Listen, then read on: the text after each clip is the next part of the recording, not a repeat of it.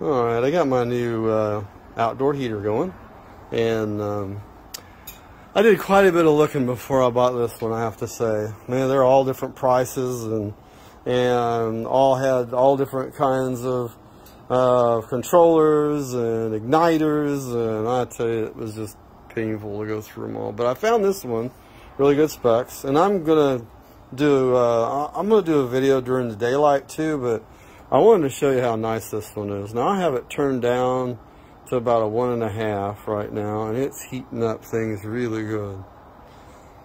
But uh, it didn't take all that much to put this together either. I was pretty happy with that. Now I've got that down there, but the controls are here.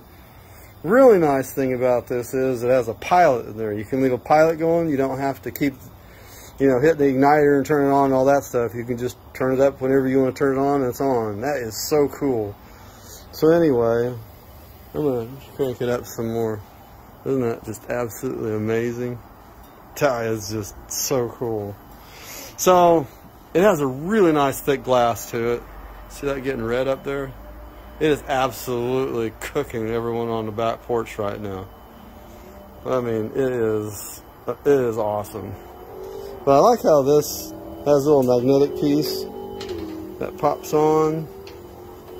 I don't know if you can see that or not. It goes in like that and it has a magnet. That's the door. Isn't that cool? Anyway, that is just that is just awesome.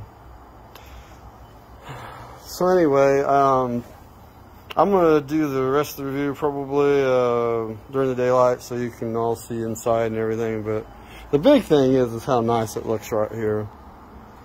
It is just really nice.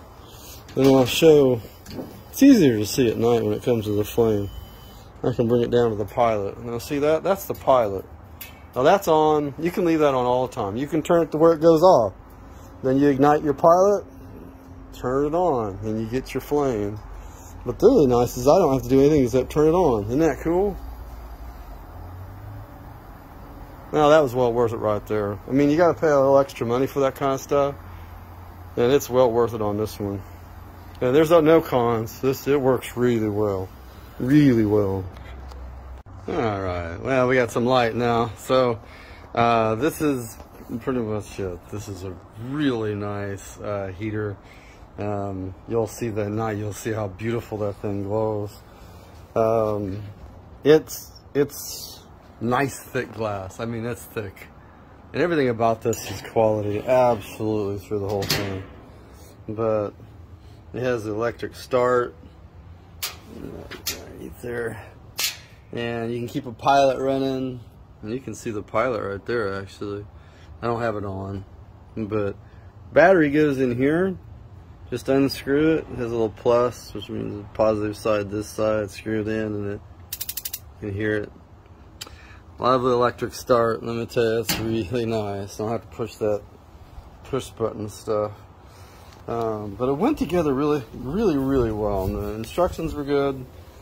Um, I want to say it took me about 30 minutes because uh, I just wasn't used to putting one together.